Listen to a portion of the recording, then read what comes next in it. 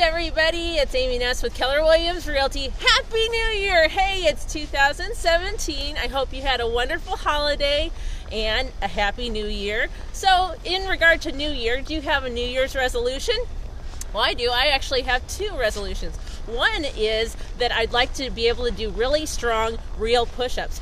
Right now, the kind I do are the bent knee form but I'd really like to get really good at the point where I can do them in a full plank position and be really strong enough to do more than one of those. The other resolution I have is to keep Lafayette buying and selling. And right now, we have a lot of that going on.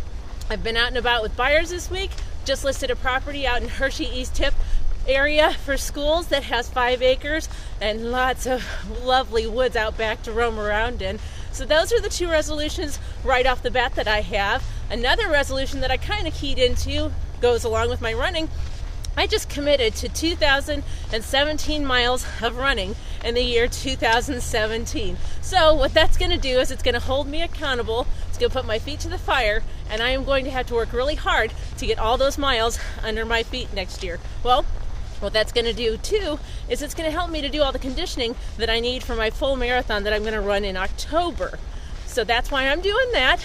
And new year, new home, thought about it? Why not? Why wait? There's a couple things we can do if you're curious or thinking about buying a home, even. We can set up a time to talk about buying a home. If you have a home already and you want to know what the value is of your home, I'd be more than happy to meet up with you, go on a tour, take a look at the home that you have, as well as are you thinking about spring projects?